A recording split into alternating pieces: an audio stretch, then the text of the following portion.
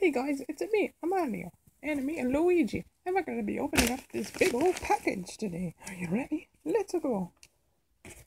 Okay, okay. So, how does this open?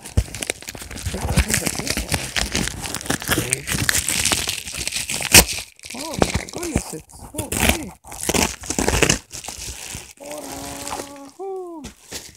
Here they are, my Mario and Luigi plushies, and they're a little bit bigger than us. So yeah, let's go, shall we?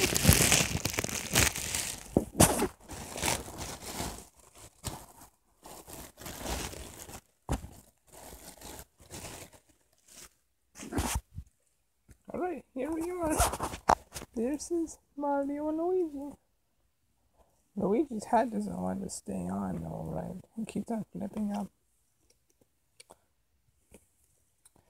It's me, I'm Mario, and me, Luigi, and we're going to go to the park today. I don't know why, but I don't like this hat falling on my head all the time. I know, right? They got little stickers. And next to us, we're really tiny.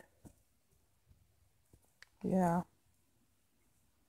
So yeah, those are new Mario and Luigi, and we'll do a review on them later today. And now, yeah, there you go, guys. That's our unboxing. And now to the review. Hey guys, it's Spike Toystoryfan here, and today we're going to be looking at the Mario and Luigi plushies, the 8 inch plush ones. So, yeah. They came in this huge package, if you've seen the intro there. Um, but yeah. Louis Mario's got a nice looking overalls. He's got nice looking shoes. Uh, the back of one shows that says Super Mario on the tag, of course. Um, it came out last year, actually. It's said 2016. So yeah, they came out last year. Um, for safety, blah blah blah. And it says Super Mario 2016. So these are new ones. It just came out. And yeah, Mario's got a big fluffy hair. I will say that. He's very nice and soft too. And we got Luigi here, who has a hat that likes to stay up, covering his eyes all the time, which will get annoying to me. But there is his eyes, as you can see.